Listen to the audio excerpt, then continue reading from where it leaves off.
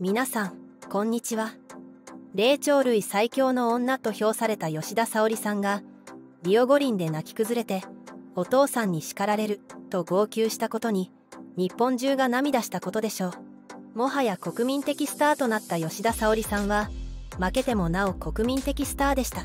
2017年7月までに世界大会16連覇個人戦206連勝を達成しています。そんな彼女が父と駆け上がってきたこの半生を生い立ちと共に追ってみようと思います。吉田沙保里さんは1982年10月5日生まれ三重県津市の出身です。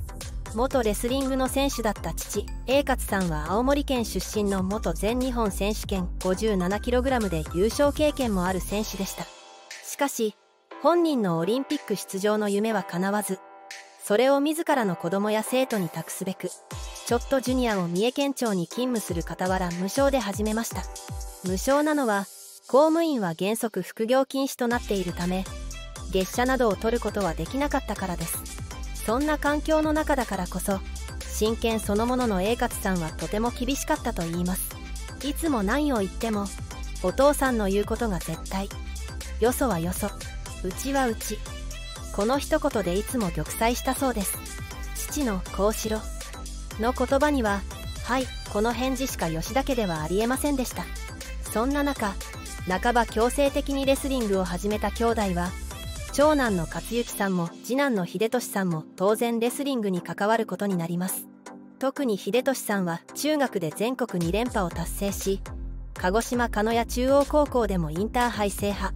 その後も国体にも出場しました。しかし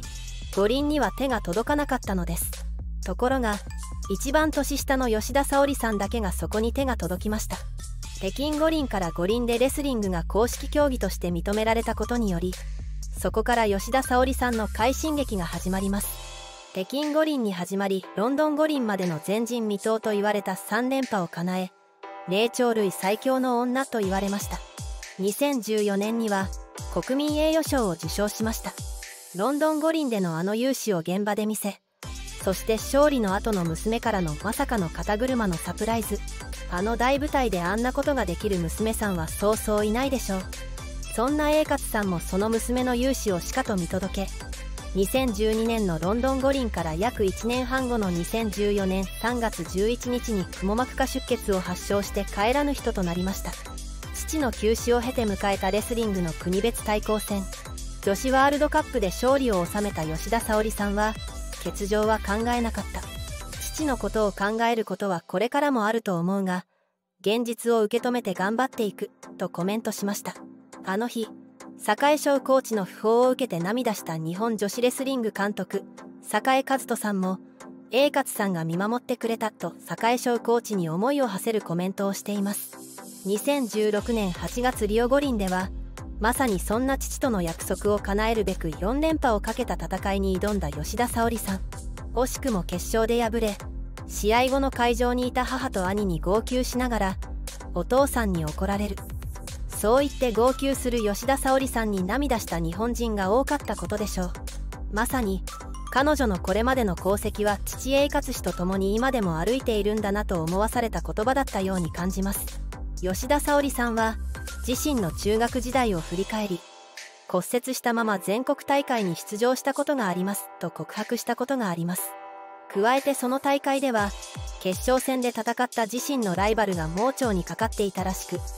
くしくも病人同士の試合になったのだそうです。ちなみに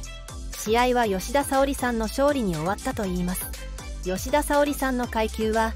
2016年8月5日時点で 53kg 級でした。もともとは 55kg 級で活躍し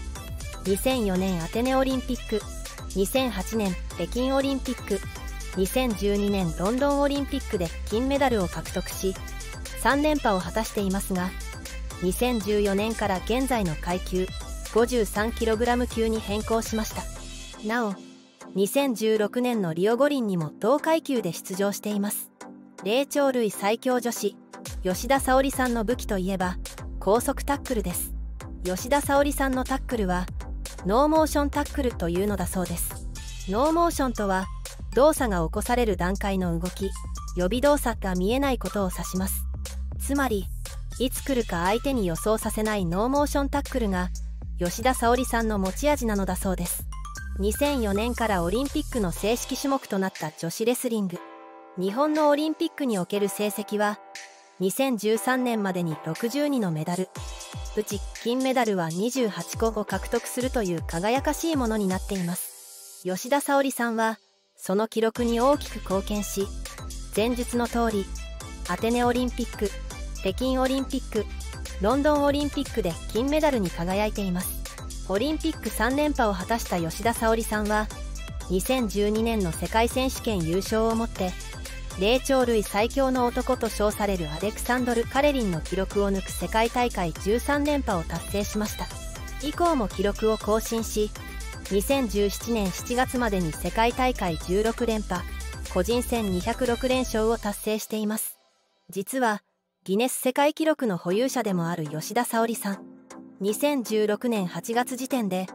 UWW 世界レスリング連合レスリングの世界タイトルの最多優勝回数16回個人のほか UWW レスリングの世界タイトルの最多優勝回数16回女子。UWW レスリング世界選手権の最多優勝回数13回女子フリースタイル。オリンピック女子レスリング軽量級の金メダル最多獲得数3個という計4つの認定がなされています。リオデジャネイロオリンピックにて五輪史上初となる女子個人種目4連覇を成し遂げたレスリング 58kg 級の一岡織さんは4連覇を逃した吉田沙保里さんについてレスリング日本代表で2番目の年長者としてもっと沙織さんを支えるべきだったと反省しているとコメントしました。吉田沙保里さんと一岡織さんは日本の女子レスリングを牽引する二大巨頭です。2016年一岡織さんが国民栄誉賞を受賞した際には沙織さんと同じ国民栄誉賞をもらったがそれでも同等とは思っていない。尊敬する先輩沙織さんがいなかったら私もレスリングにここまで打ち込めなかった。本当に感謝しなければいけないと語るなど吉田沙織への死亡を明かしていました。ライバル関係にある2人にはこんな逸話があります。高校3年生の吉田沙保里さんと高校1年生の一岡織さんが対戦した時のこと。そこで敗れた一岡織さんは監督から階級上げを打診され悔しい思いをしたといいます。つまり一岡織さんがレスリングで活躍してこられたのはもちろん一岡織さんの努力が一番ではありますが吉田沙保里さんのいない階級に変更したからとも言えます。このようにさまざまな人に影響と感動を与えた吉田沙保里さんは2022年9月9日殿堂入りすることが世界レスリング連合から発表されました。現在三重県津市にある一市ジュニアレスリング教室をたびたび訪れ指導に当たっています。レスリング教室には多くの中学生が参加しており日本一を決める全国中学選手権に向けて汗を流しています。その出場選手の中でひときわ注目を浴びるのは吉田沙保里さんの甥っ子海斗さんでしょう。これまで獲得したメダルは50個以上で全国屈指の実力を誇っているそうです。吉田沙保里さんの指導を受けた後輩の活躍する時代がすぐそこまで迫っています。ご視聴ありがとうございました。この動画が気に入っていただけましたらチャンネル登録高評価をお願いいたします。